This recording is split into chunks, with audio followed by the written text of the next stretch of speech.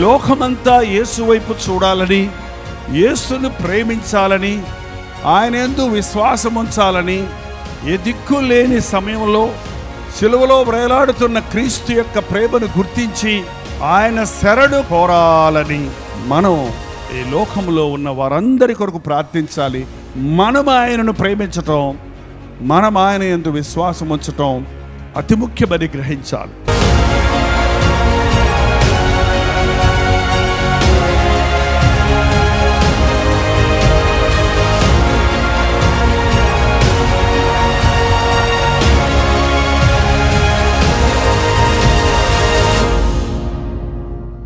పగలు మూడు గంటల సమయంలో ఏ సమయం అది? ప్రార్థనా సమయం. పేతురు యోహాన్లు దేవాలయంలోనికి ఎక్కిళ్ళిన సమయం. కానీ మూడు గంటలు ప్రార్థనా సమయం అన్న సంగతి ఎవరు గుర్తిస్తలేదు మధ్యాహ్నం మూడు గంటల సమయము అది మనిషి అలసిపోయే సమయం. బలహీనుడయ్యే సమయం. సాతాను మనిషిని మోసగించడానికి యుక్తి కుయుక్తి డైవర్షన్ తప్పైన శోధనలు లొంగదీసే సమయం. కాబట్టి ఆ టైంలో మనం ప్రార్థన చేస్తే సాతాన్ని మనం జయించగలుగుతాం. కల్పించబడిన నానా ఉపదేశమునకు ఆ కొంతమంది నాలుగైదు పెట్టుకుంటారు. ఇది కొంచెం అది కొంచెం ఇది కొంచెం. ఆ ఇంట్లో ఒక ముద్ద ఈ ఇంట్లో ఒక ముద్ద ఆ ఇంట్లో ఒక ముద్ద తిన్నావు అనుకో నీ బతుకు ఎట్టుంటుంది నీ పొట్ట ఎట్టుంటుంది అసలు ఫస్ట్ పాయింట్ అట్లా చేయకండి. నేను ఎప్పుడు ఇంకొక బోధకుండా చూసి కాపీ కొట్టను. కానీ ఇప్పుడు కాపీలు కొట్టేవాళ్ళు కాపీ మీద కాపీ పెట్టేవాడు ఉన్నాడు కాపీ మీద దేవుని స్తోత్రం. నన్ను అనేక మంది కాపీ కొడుతున్నారు కొట్టనేవ్వండి. ఒక మంచి దైవజనుడు మాదిరిగా ఉంటాడు. ఆ దైవజనుడి నుంచి నేర్చుకొని దాన్ని రియల్గా ఇంప్లిమెంట్ చేస్తే చాలా సంతోషం. కానీ గురువుని మించిన శిష్యుల్లా కొంతమంది నీకంటే నేను గొప్పగా చేసి చూస్తానని పంతానికి ప్రార్థన చేసేవాళ్ళు పంతానికి మీటింగ్ పెట్టేవాళ్ళు పంతానికి పాటలు పాడేవాళ్ళు పంతానికి లైవ్లు ఇచ్చేవాళ్ళు బోళ్ళు మంది ఉన్నారు ఈ రోజుల్లో. అందుకని కొంచెం జాగ్రత్తగా ఉండండి. పంతంలో పడి పాడైపోకండి. పౌలు అంటున్నాడు చూడండి ఆ మాట మీకు అర్థమైందా? మిమ్మల్ని పవిత్రమైన కన్యకగా దేవుడికి నేను ప్రదానం చేశాను. కానీ ఆ సాతాను కుయుక్తితో వేరే బోధ వేరే ఆత్మ వేరే సువార్త. అది కూడా బోధే సువార్తే. వేరే యేసు వేరే యేసుని గురించి అంట ఏంటండి? బైబిల్లో బర్రేసు అని ఒకడు ఉన్నాడు తెలుసా మీకు? ఎవరన్నాయనా బర్రేసు. ఏ యేసు? అందుకే నజరేయుడే అని యేసు అనేవాళ్ళు. ఆ రోజుల్లో యేసు అనే పేరు చాలామందికి ఉండేది. బర్ యేసు ఏం చేశాడు? సువార్త చెప్పాడా? సువార్తను అడగించాడా? ఏంటండి మీరు ఎన్ని రోజులు ఉండి బర్రేసు తెలియకపోతే అట్టగా? తీయండి బరబర బైబిల్. అపోస్తుల కార్యాలు. పదమూడవ అధ్యాయం. ఆరో వచనం. వారు ఆ దీపమందంతటా సంచరించి పాపు అని ఊరికి వచ్చినప్పుడు గారడి వాడును అబద్ధ ప్రవక్తియునైన బర్యేసు అన్న ఒక యూదుని ఎవడంటాడు? గారడీవాడంట అబద్ధ ప్రవక్త మళ్ళీ ప్రవక్త పేరు కూడా పెట్టుకున్నాడు వీడు? ప్రతివాడు ప్రవక్తే ప్రతివాడు ప్రవచిస్తున్నాను అంటారు ఏంటండి? బట్ గారడి విద్యలు చేస్తారు. గారడి వేరు జ్యోతిష్కం వేరు ప్రవచనం వేరు. మళ్ళీ వీడు యూదుడు. అన్యుడేం కాదు వీడు. ఎవరో? యూదుడు. మరి ఏం చేశాడు? ఇతడు వివేకము కలిగిన గలవాడై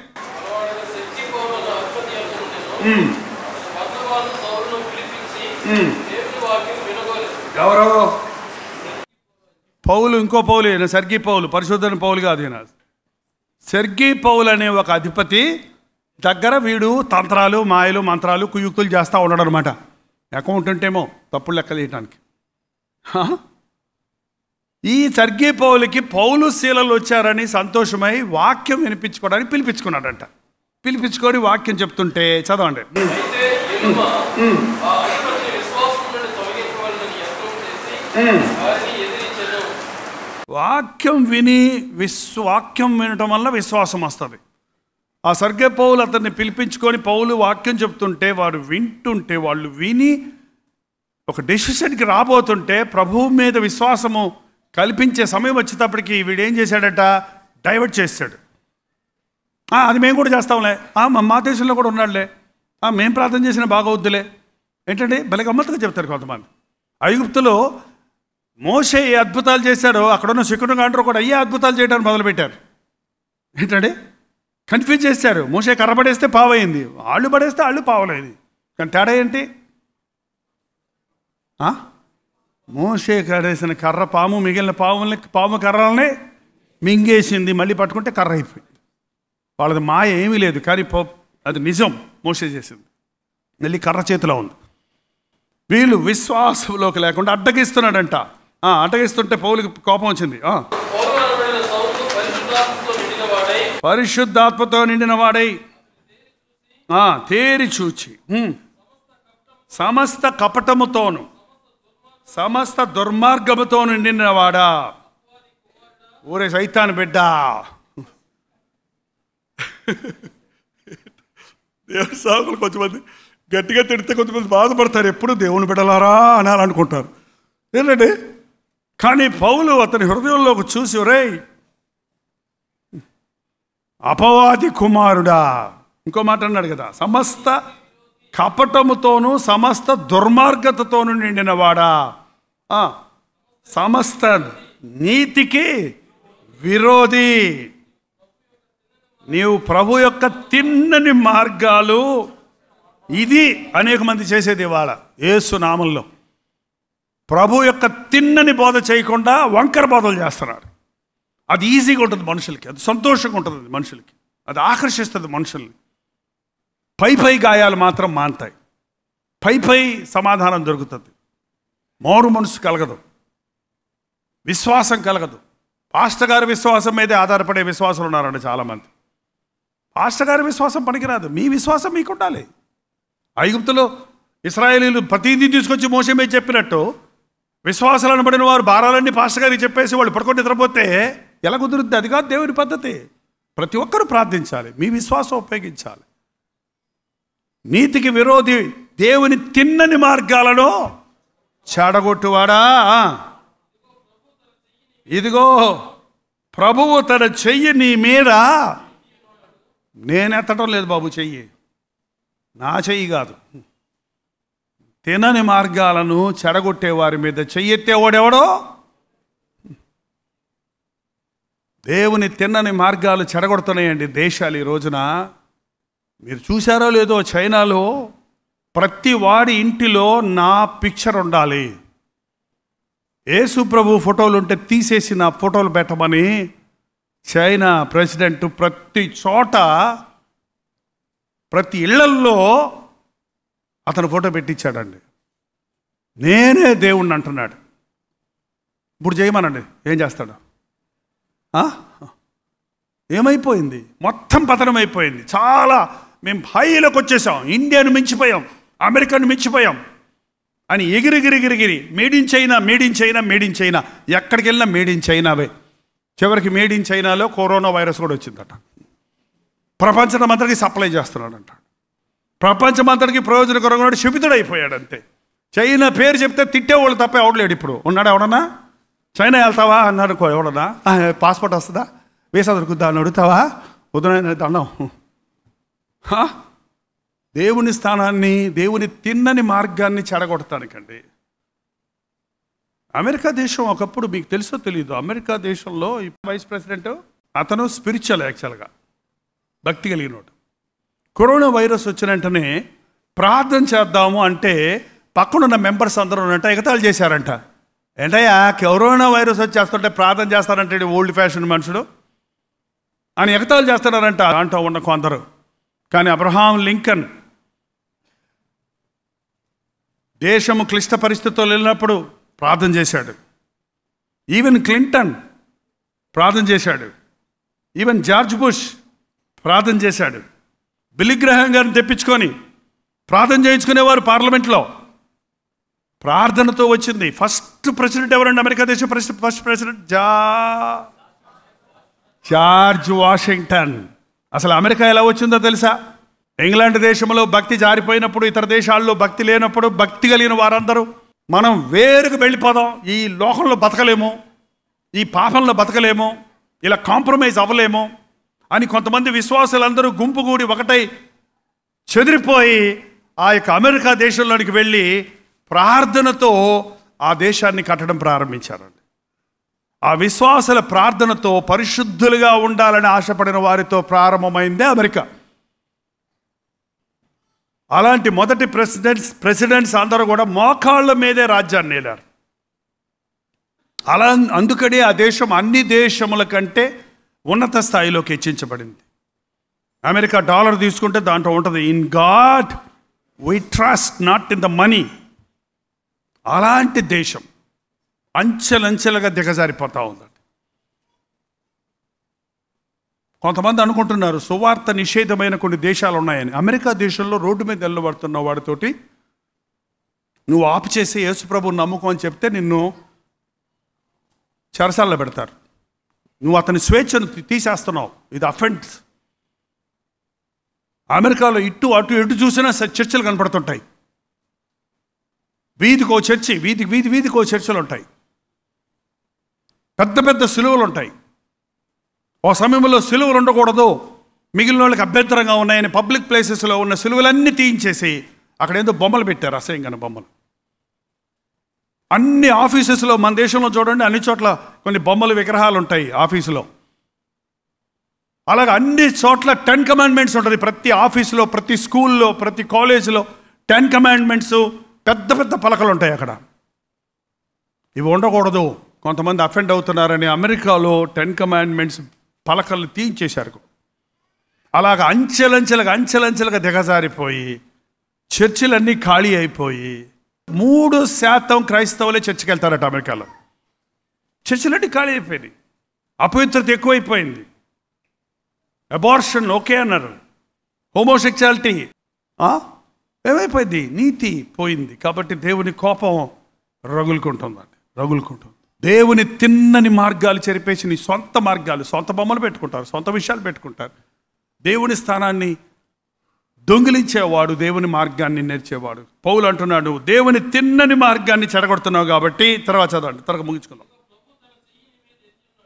ఇదిగో ప్రభువు తన చెయ్యి నీ మీద ఎత్తున్నాడు ఒక్కసారి చెయ్యి ఎత్తాడంటే చాలు. అంతే.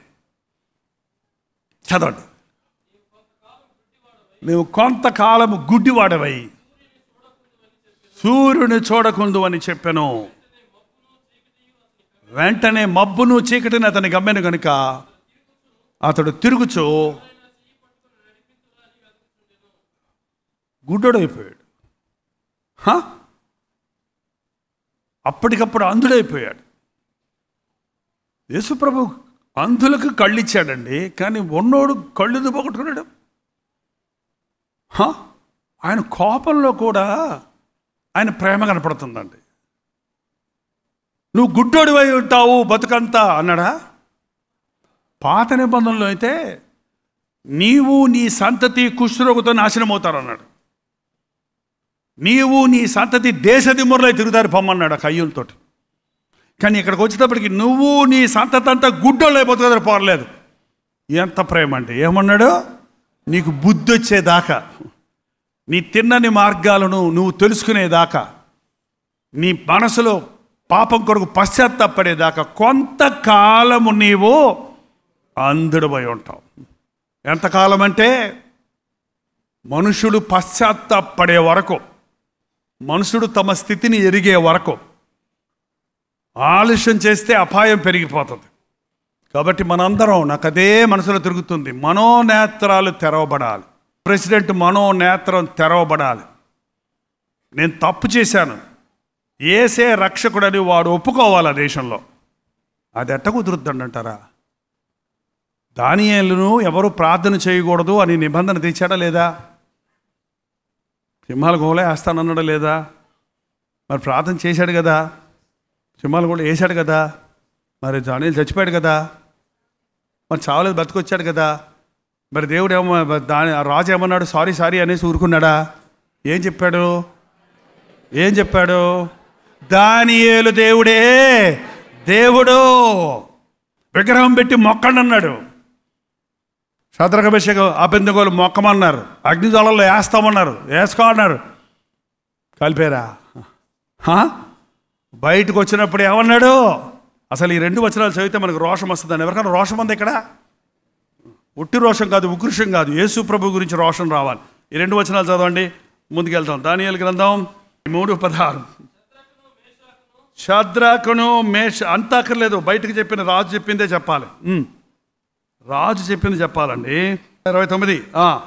కాగా నేను ఒక శాసనము నియించుచున్నాను ఇరవై తొమ్మిదో వచనం. ఏదనగా ఇవ్విధముగా రక్షించుటకు సమర్థుడకు దేవుడు గాక మరి ఏ దేవుడు లేడు? అబ్బబ్బబ్బబ్బబ్బ. ఇంత మంచి వాక్యాలు మనసులో గిరగిరగర తిరుగుతుంటేనండి మన విశ్వాసం పెరుగుద్ది.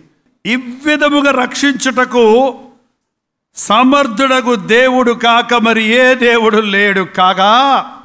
ఏ జనములో గాని రాష్ట్రములో గాని ఏ భాష మాట్లాడు వారిలో గాని శద్రకు మేషకు అబెద్దగో అని వారి దేవుడు దేవుని ఎవడు దూషించునో వాడు తుత్తిడులుగా చేయబడను వాడి ఇల్లు ఎప్పుడు నువ్వు పెంటకుప్పగా ఉండిన నేను బా! ఏమనుకుంటున్నారు వాళ్ళ దేవుడి గురించి? నీ ఇష్టం వచ్చినట్టు మాట్లాడుతున్నావు. మూడు మేకుల దేవుడు అంట. కొంతమంది ఎగతాలు చేస్తున్నారు యేసు ప్రభు ఏంటండి? ఎగతాలు చేస్తున్నారండి. సువార్త ఎక్కువైపోయి మనుషులకు బైబిల్ అందుబాటులో ఉంది కదా అందరికీ. అక్కడ కొంచెం ఇక్కడ కొంచెం చదివేసి బైబిల్ అంతా భూతకథల పుస్తకం అంటాడు ఒకడో. ఎవడైనా సరే శద్రకు మెషకు అబద్ధగోలు దేవుణ్ణి దూషించాడా? తుత్తు తుత్తు తుత్తులుగా అయిపోద్ది. Capital punishment. అని ఎవడు ప్రస ప్రకటన చేస్తున్నాడు? దానియాలు చెప్తున్నాడా? అన్యుడైన రాజు ఏం ఒప్పుకుంటున్నాడు? దానియేలు ఈ ఈ విధముగా రక్షించగలిగిన దేవుడు మరొకడు. నాకు బోళ్ళు మంది దేవుళ్ళు ఉన్నారు కానయ్యా ఇలా రక్షించే దేవుడు వేరే లేడు. సరే దానియాలు కూడా చదవండి. ఆరో అధ్యాయం ఇరవై ఆరో వచనం.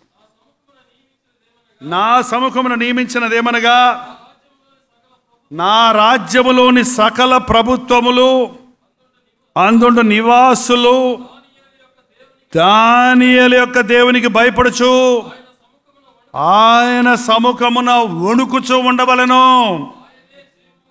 ఏంటంట? ఈయన ఎక్కడ చూశాడు? సులువు మరణ పునరుద్ధానాన్ని. ఏమంటున్నాడండి ఆయనే జీవము గల దేవుడు. ఆయనే యుగ యుగములు ఉండువాడు. ఆయన రాజ్యము నాశనము కారేనదు ఆయన ఆధిపత్య తుదముట్టకుండును. ఆయన విడిపించువాడు రక్షించువాడునై ఉండి పరమందును భూమి మీదను సూచక్రియలను ఆశ్చర్య కార్యములను చేయువాడు. ఆయనే సింహముల నోటు నుండి ఈ ధాన్యాలను రక్షించనని వ్రాయించాడు. ఓహో. అన్యులైన ఈ రాజుల చేత నోటుతో చెప్పించడం దేవుడు లేదండి. నా రాజ్యములో ఉన్న సకల ప్రభుత్వాలందుండ నివాసులందరూ దానియేలు దేవుడికి భయపడాలి.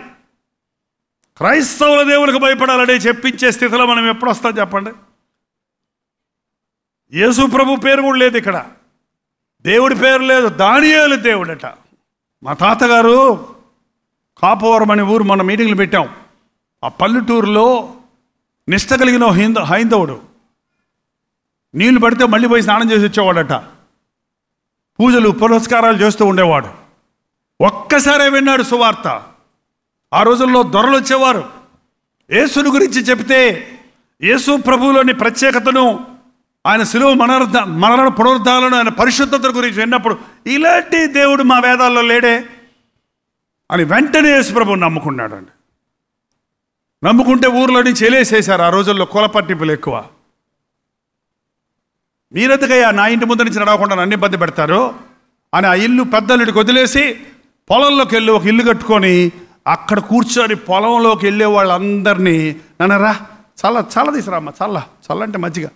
మజ్జిగ ఇచ్చి కూర్చోబెట్టి ఇంకా విచిత్రం నుప్పు తీసురామ్మ చుట్ట వాడు ఆడు చుట్ట తాగుతుంటే సువార్త చెప్పేవాడు ఏంటండి?